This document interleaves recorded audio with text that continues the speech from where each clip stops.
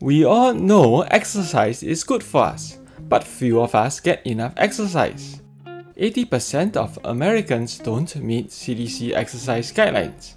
People often fail when they try to exercise more. Today, I'm going to share some ways of motivating yourself to get more exercise that are evidence based.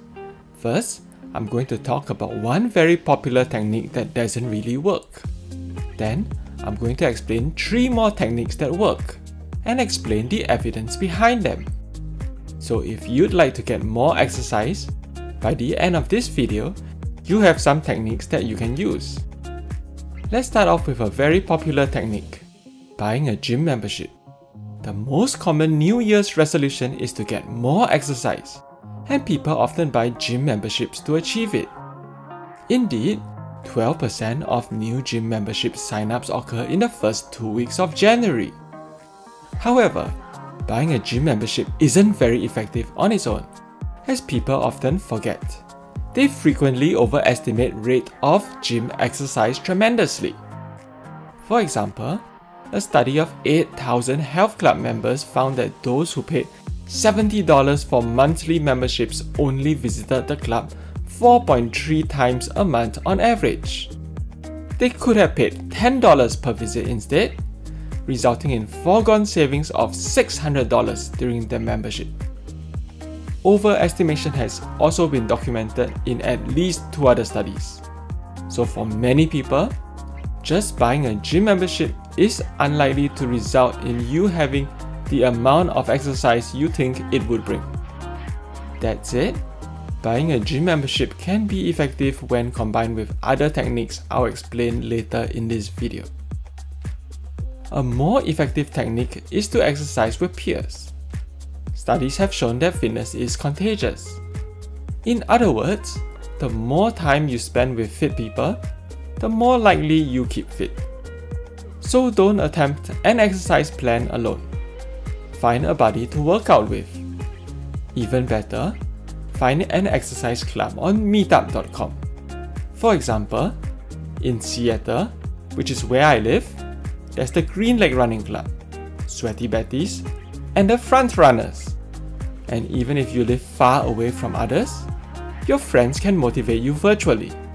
A study of a global social network of runners found that when the weather was good in a certain city, people in that city were more likely to run, and the effect spread to their friends in other cities. How big is the effect?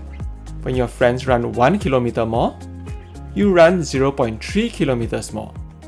When your friends run 1 kilometer per minute faster, you run 0.3 kilometers per minute faster.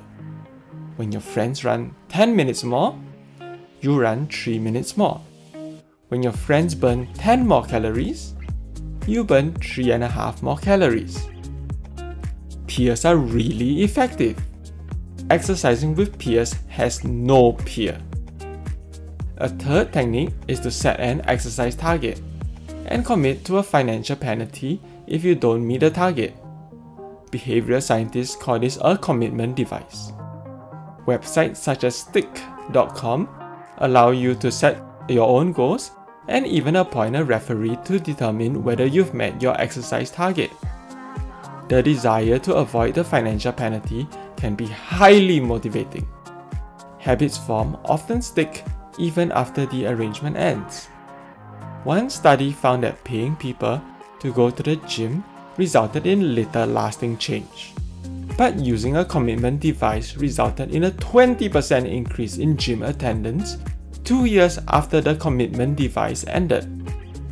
Perhaps the saying, motivation is what gets you started, commitment is what keeps you going, may have a basis in reality. Fourth, making exercise enjoyable helps.